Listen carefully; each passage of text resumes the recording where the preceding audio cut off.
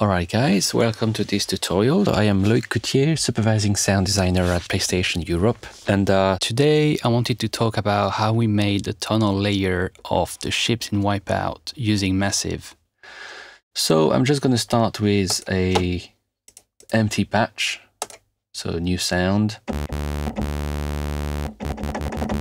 Classic Sotus. Right, and uh, yeah, let's start. The first thing I wanted to do is to make sure that what I was going to design in Reaper was going to sound exactly the same in the game. And uh, so to do this, I, I, had to think about what would be the parameter from the game that I would use to drive the pitch. To drive the pitch of the engine, the power of the engine. And uh, at the beginning, I thought it was going to be the thrust of the engine, but actually in Wipeout, you're all the time on the accelerator.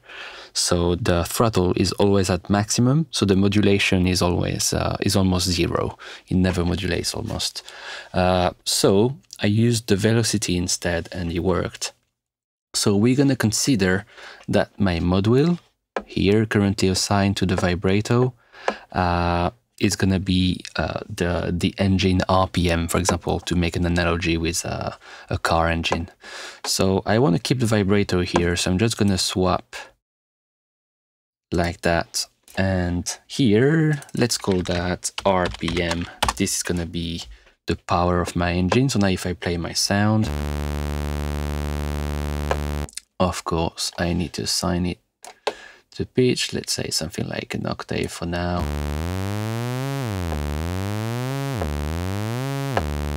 Okay, so now that's working.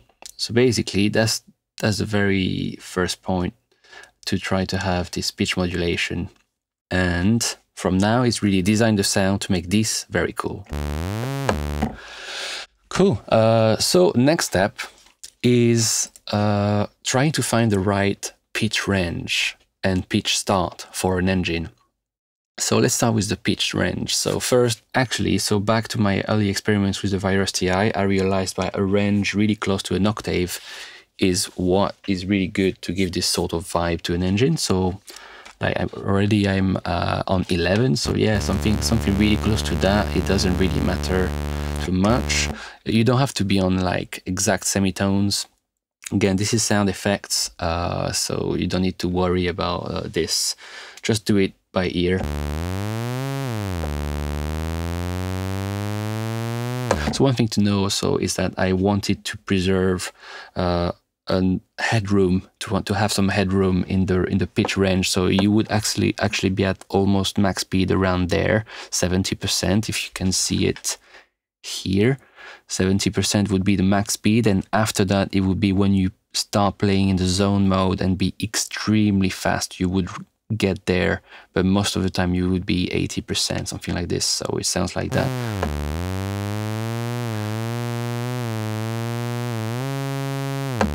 So yeah, you would never really reach and be stuck at the maximum because this sounds really dead.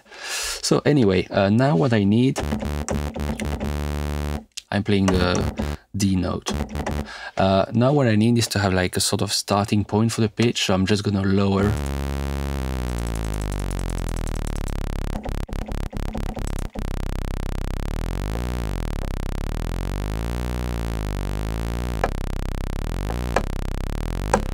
okay. Yeah I'm, I'm happy with this for the lowest part of the of the engine. Cool.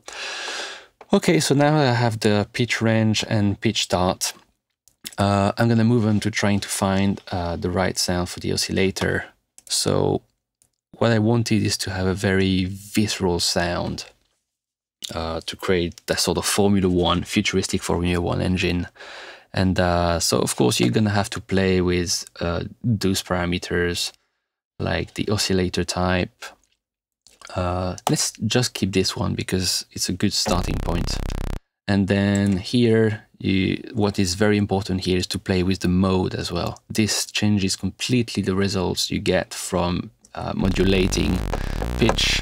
So this is very interesting results. And there are no rules here so i'm not going to say oh you should try to have this mode or this mode. This this would be completely uh, bullshit to be honest. It's like you have here with just those parameters here, you have like millions of possibilities, honestly. And uh, all of them can uh, make you go to excellent, really cool sounds, but also complete mayhem as well, complete chaos, noise. So it's, it's really down to your ears. Uh, I don't have rules other than experiment and the big skill you need to have is being able to recognize when something sounds really nice. That's the thing because you're going to be browsing through billions of possibilities, and the skill here is really to know, oh yeah, this is cool, and you stick to that, and you stop browsing from that point. That's the thing. Um, so let's have just something that is not too rich as the first oscillator. That seems good to me, something like this. Uh, maximum volume doesn't really matter at this point. Good, happy with that. Uh, cool, so now what I want is to use the filter as well. So for the filter, even before starting, and also because I tried it in the on the Virus TI, I really wanted to try uh, the comb filter because of its complexity. The comb filter uh, is making a sound feel a bit try to put it inside a sort of space that could exist because of all those features you have. It's very similar to uh, an impulse response or um, a realistic space. And I know, like, if I want my engine sound to exist within an engine, this this could help me. Uh, I wasn't sure, but I did I did use it and I really loved it. Uh, so yeah, let's get rid of filter 2 um, for now at least. And what I did with the comb filter is trying to find the sort of sweet spot where the pitch parameter of the comb filter and the pitch of my engine would resonate. You can hear this stuff, so okay, let me give you more spectrum. You see how dead it sounds like that, and then when you add the comb filter, sounds very cool, right? Cool, so now it's about really trying to tune the stuff to get something cool. So I'm going to use the mod wheel to get very precise uh, changes on Massive.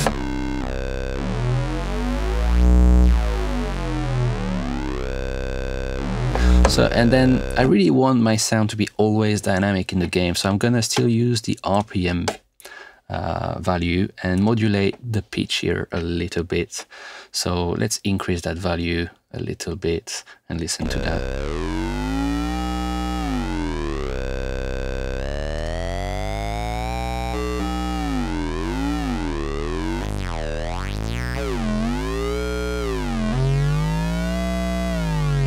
Okay, starts to sound closer to an engine. Before that, it was a bit like a like a monk. So.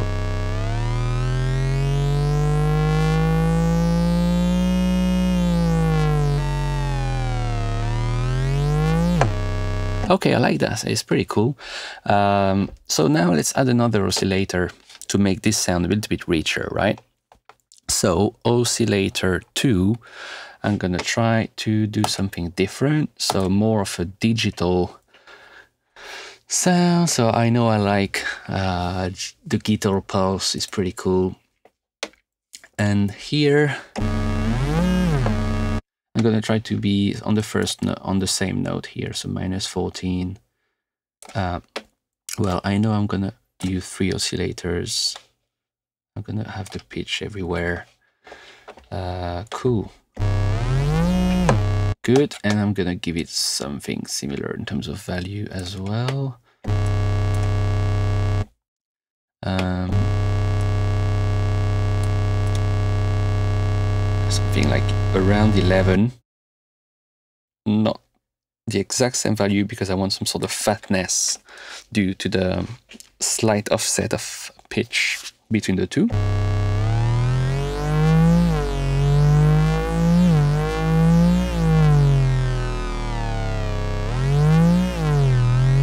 Okay, so let me just play with the parameters now.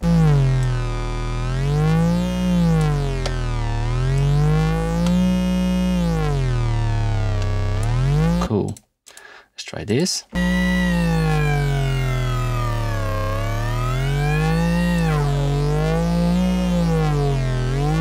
Okay, so something really cool is happening here, and then I recognize that this is important. And uh, so it's just, again, I said, like changing to formant, for example, auto, some of them, other ones, would completely change the sound uh, we have in the end. So I like the formant one. And again, I want this to be dynamic following my RPM increments. So I'm going to assign this to the intensity and give it more as I increase the pitch.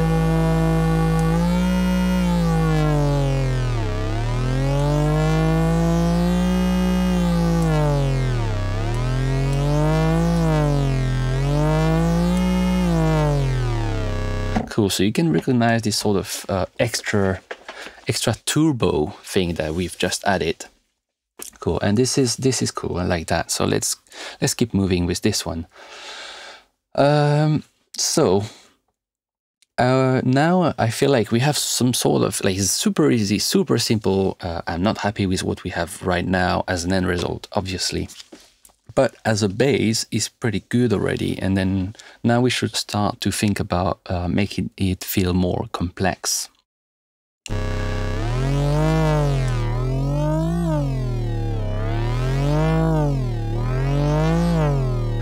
There's something cool. Okay, so more complex. So the first thing I can think of to make a sound more complex is to add some effects first. So phaser, again, for an engine, a phaser is going to give it this sort of evolving, uh, evolving spectrum something really interesting for an engine sound. The point really is to be never static, never dead. So let's use the phaser. Where is it? Phaser. Okay, Let's try to play with it a little bit.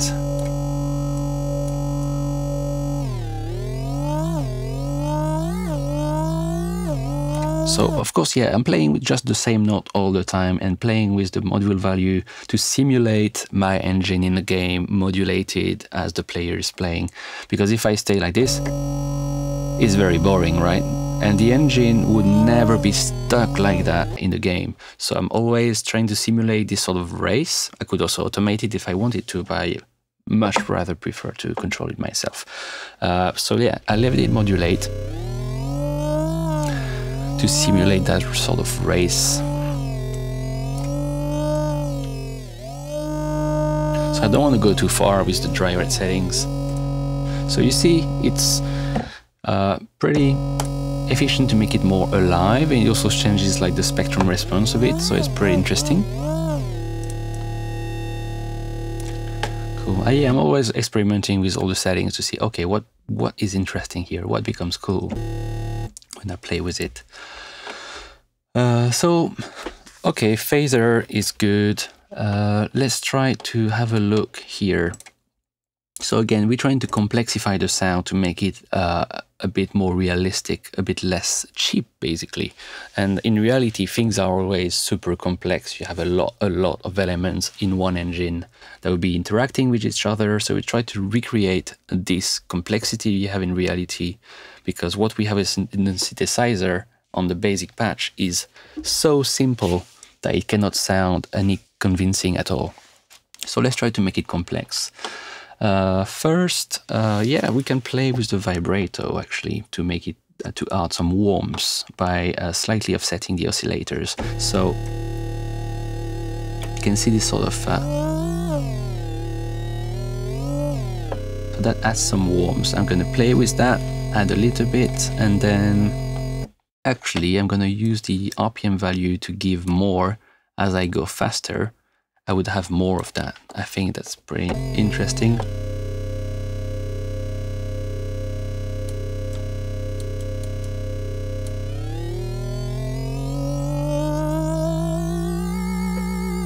So it sounds a bit funny now. Let's just turn it down. Yeah, too too fast sounds funny. You need to find the right, the sort of sweet spot. Okay, good. Um, now, what I want to try is go to the voicing and we're going to add some voices, right? This is easy way to populate the soundscape. Small sources. Let's go like a setting of four. So just instantly there is more people, and to make sure those uh, those extra entities we've added in the soundscape are all a little bit different to have less phasing going on. Just again closer to reality. In reality, when you copy something, it's not the exact exact copy.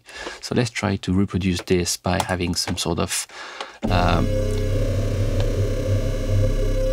it needs to be really subtle. It doesn't need to be crazy because it just creates a wall of sound with sounds of different pitches. Yeah, wavetable position as well. And pan position. So if you want it massive, you can do that, but uh, we will. I will play with this in game, the positioning. I just want it to be uh, slightly wide. Make sure that all those voices are not playing uh, full mono. Okay.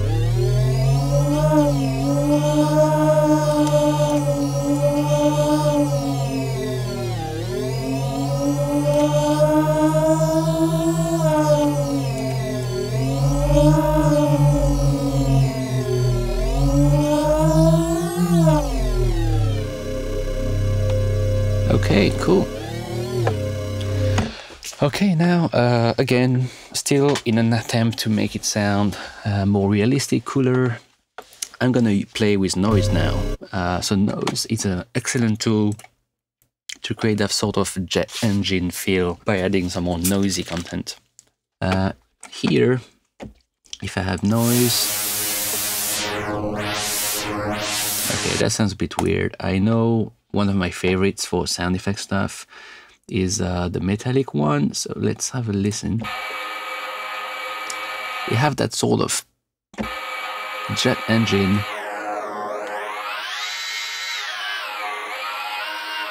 So of course it sounds a bit cheap because like we're just pitching a sample, uh, so it's not absolutely amazing. Let me try the high metallic. Actually, I much prefer that because it would, in the mix with the other layers, it's gonna work much better. So I just want to add uh, this extra layer to make uh, the spectrum a bit more full and has something more noisy. Again, this in reality you would you would have this sort of uh, noise signature. So let's add that, and still, again, we're gonna add modulation so that we feel that increase. So you can start a very very quiet and then get more noise. Not too much.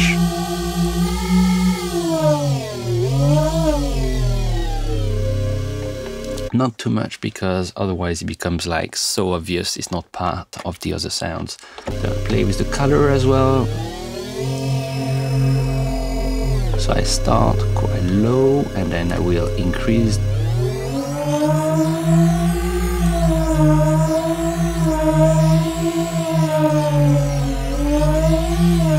Yeah, it's good if I if I solo it. It's super basic honestly. But it adds content that we need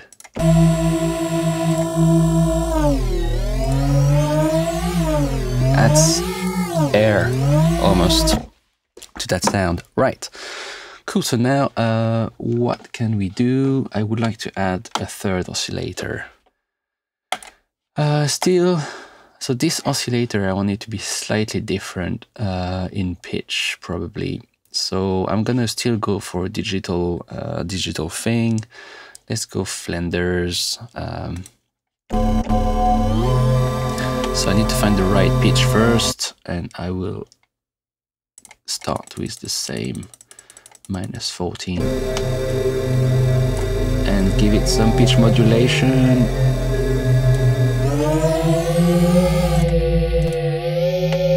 Again, it sounds a bit cheap. It's okay, don't need to. Okay, let me try the formant. Yeah, that's pretty close to what I want. It's like an, this sort of extra turbo part of the engine.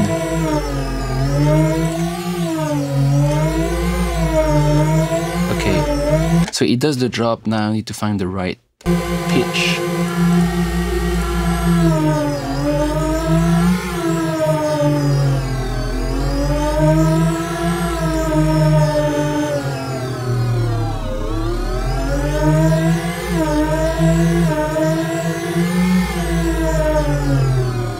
Okay, cool. Uh, that makes it much richer. I like that. And I'm gonna actually only have this guy uh, added when we go fast. So something like this. And then play with the intensity a little bit as well. So, I don't know.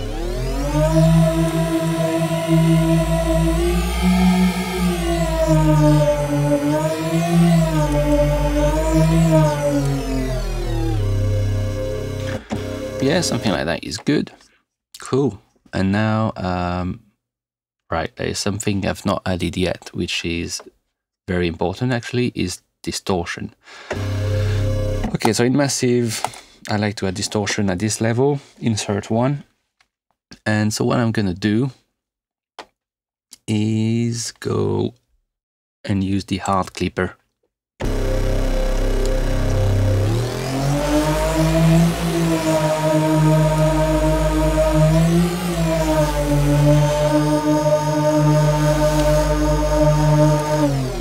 Let's not go crazy. It's not necessary. If you go crazy, then uh, I mean, I'm planning on using distortion in the game after that.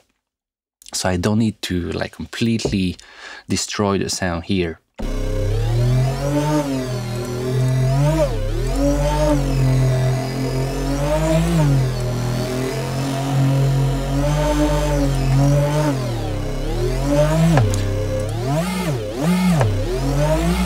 Adds richness, it adds harmonics, um, so the sound is again fuller, more complex, interactions between sounds are more interesting to listen to. So yeah, I like this level of complexity. Let's uh, keep going with the complexity levels by adding some uh, flanger maybe? Maybe just another phaser. So what I could do is to have a phaser that is only really present when you go fast again, so something like that.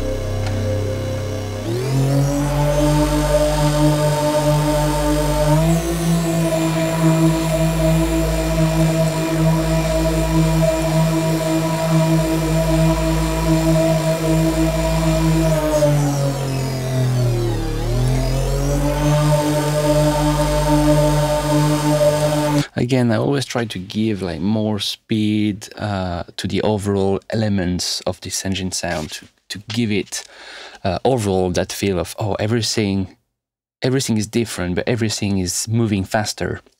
So it gives you that feel of uh, everything is connected in that sound, even if they are all uh, a little bit different and not really acting the same way.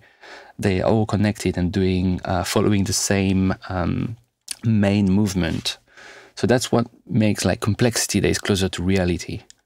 To me, that's my perception of it.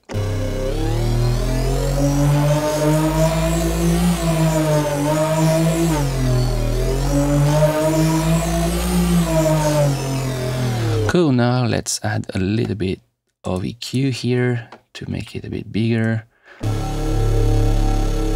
Very simple, like honestly, more highs, more lows,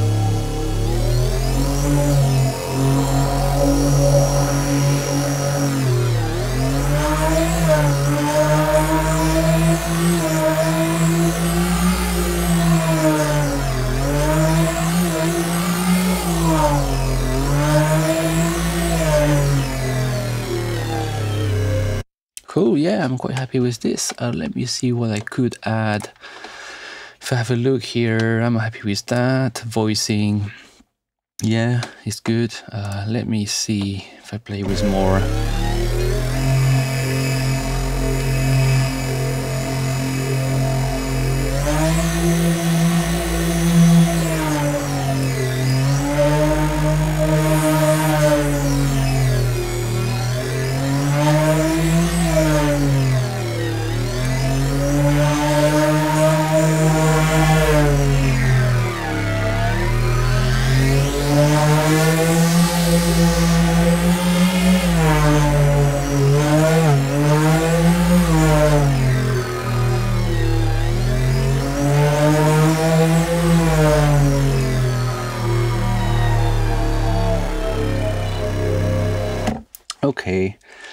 Something pretty pretty heavy, pretty cool.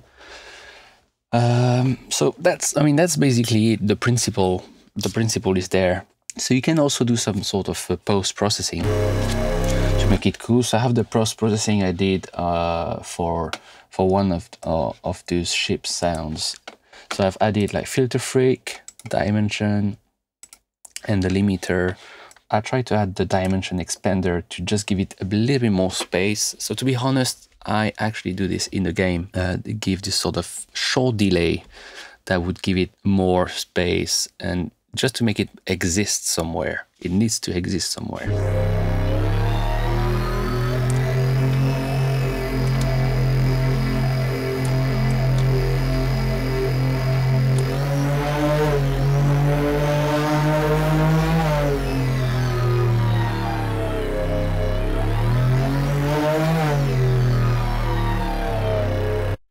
And the limiter is just gonna be there too.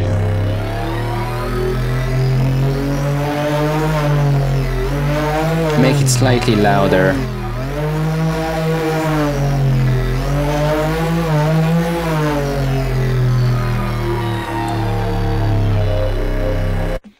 Yeah, cool. Uh, so, what what is key here really to remember is like the interactions between all the oscillators. Uh, any parameter here is going to change the sound completely.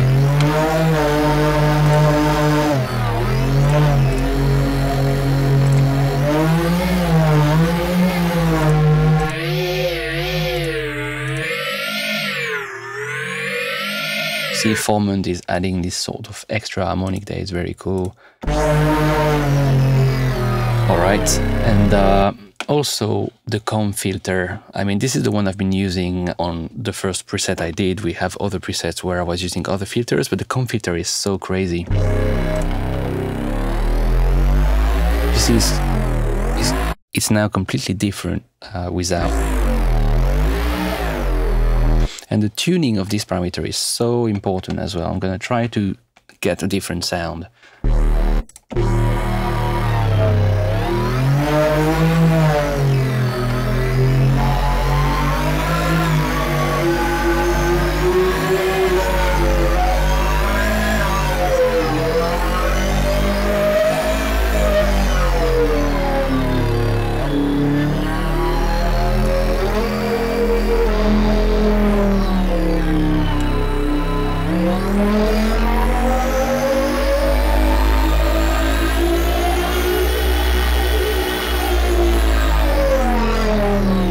Okay, let me have a look at what they have happening here. There's a bit distortion going on. I'm gonna bypass the post processing plugins.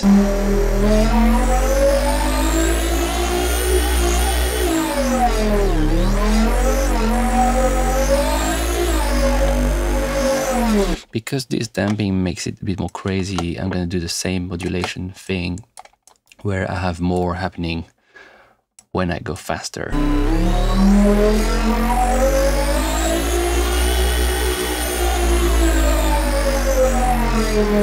Cool.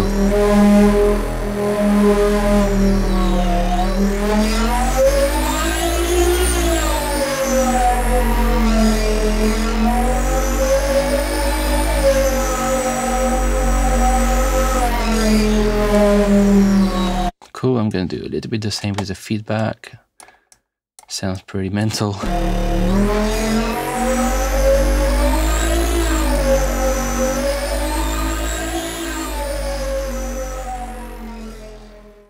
Alright guys, that's the end of the tutorial. Uh, thank you for watching. I hope you enjoyed it. I hope you learned something.